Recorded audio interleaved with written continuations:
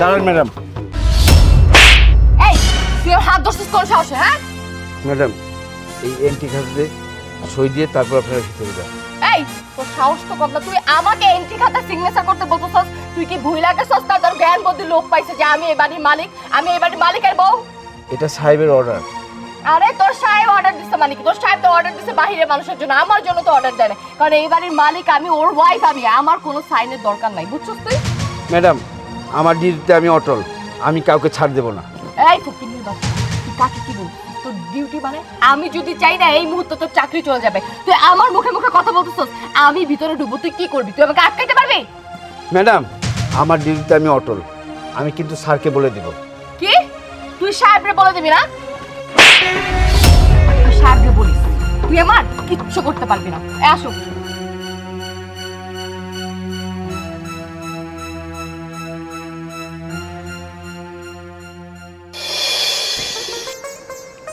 Sir সালাম আলাইকুম sir.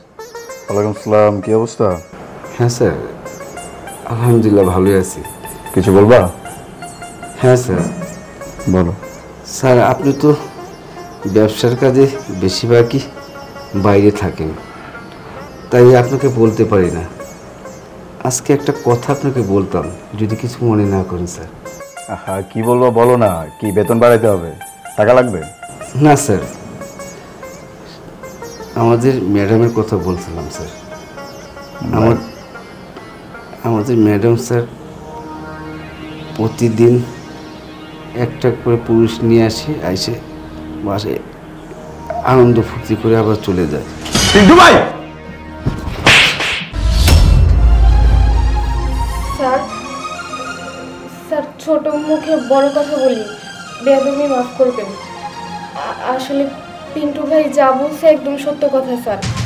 আর এটা আমিও আজকে অনেক দিন যাবতই দেখতেছি। কিন্তু আসলে আপনারে কখনো বলার সাহস পাইনি। কারণ আমি জানি যে আপনি কোনোদিনও আমাদের কথায় বিশ্বাস করবেন না। কিন্তু স্যার, আপনার এই বিশ্বাস নিয়েই ম্যাডাম সবসময় খেলা করতেছি। আপনার অগোচরে এই বাড়িতে পরপুরুষই না? সি সি সি সি। স্যার, আমি গরিব বাড়ির মাইয়া হইতে পারি, কিন্তু আমাগর মান সম্মান আছে।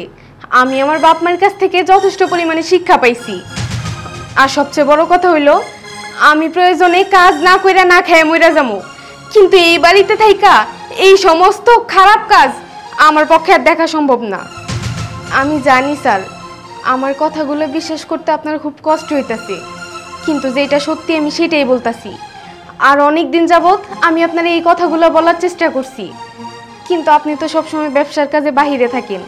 তাই কখনো সুযোগ পাই নেই তোরা দুইজন মিলে যে এত কথা কইতেছস আমার বইয়ের নামে যা ইচ্ছা তাই কইতেছস তোর কাছে কোনো প্রমাণ আছে? হ স্যার আমার কাছে প্রমাণ আছে। আমি আজকে একদম প্রমাণ নিয়েই আপনার সামনে আইছি। এই যে আমার মোবাইলের এই ভিডিওটা দেখেন আপনি।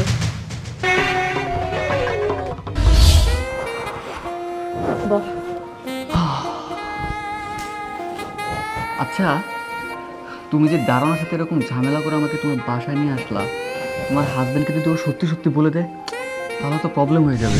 আরে না তুমি এত ভয় পাচ্ছ কেন? ওর এত সাহস নেই যে আমার হাজবেন্ডের কাছে যে কিছু বলবে। আর যদি বলছে না তাহলে আমি আমার হাজবেন্ডকে বুঝে শুনে সব কিছু ঠিক করে ফেলব। আর তুমি এত চিন্তা করো কেন? আমি যদি এত ভয় পাইতাম তাহলে তোমার মতো কি ছেলের সাথে আমি প্রেম করতাম না। তাহলে আমি হাজবেন্ড নিয়েই বসে থাকতাম।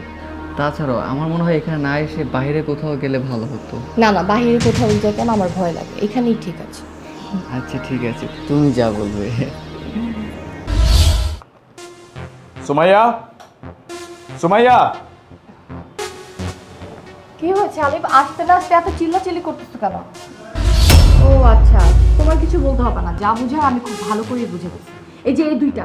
এই দুইটা চাকর চাকরনি তোমার কানের মধ্যে উল্টাপাল্টা কথা ঢুকেছে, তাই না? আমি ওদের নামে কমপ্লেন করার আগে ওরা আমার নামে উল্টাপাল্টা কথা বলে তোমার মাথাটা গরম করে দিচ্ছে শোনো, আমি তোমাকে সবকিছু ক্লিয়ার করে বলতেছি। এই যে, দারোয়ানের বাচ্চা দারোয়ান, ও আমার দিকে খারাপ নজর দেয়, আমার বাপের বয়স হলে কি হবে? আর এই মেয়েটা, এই মেয়েটাকে তো তুমি আদর দিতে মাথা উঠাই ফেলছো। এই মেয়েটা এমন একটা ভান করে যে, ও এই বাড়ির মালিক, আমি এই বাড়ির চাকর, এই মেয়েটারও চরিত্রের সমস্যা আছে।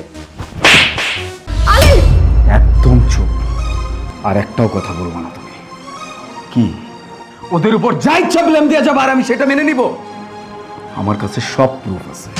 কি করো কি করো না কোথায় যাও কোথায় যাও না সব প্রমাণ আছে আমার। প্রমাণ আছে মানে কিসের প্রমাণ আছে? আমি কি করছি? কিসের প্রমাণ? কি এটা? কি? ভাষা হারাই গেছে? মুখ দিয়ে আর কোনো কথা বেরোচ্ছে না? কেমনে বেরোবে? সব কিছু তো সামনে চলে আসছে, বেরোবে কেমনে? এই এই যে দিনের পর দিন, মাসের পর মাস, কাজের জন্য এইখান থেকে ওইখানে ছোটাছুটি করি, কার জন্য? তোর ভালো রাখার জন্য। যাতে তোর কোনো কিছুতে কষ্ট না হয়, তুই কখনো কষ্ট ফিল না করো সেই জন্য। তুই সেটার প্রতিদান এইভাবে দিলি? কম ভালোবাসছি তোরে আমি। যখন যা চাইছস তোর সামনে হাজির হয়ে গেছে। খালি মুখ দিয়ে বের হইতে দেরি হইছে। জিনিসটা তোর সামনে আসতে দেরি হয়নি তারপরে এত বড় একটা ধোকা আমারে দিতে পারলি?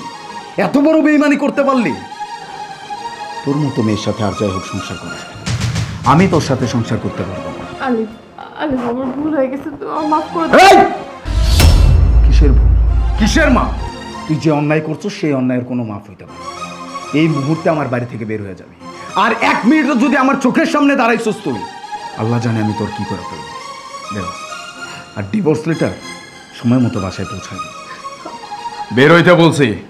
বেরো!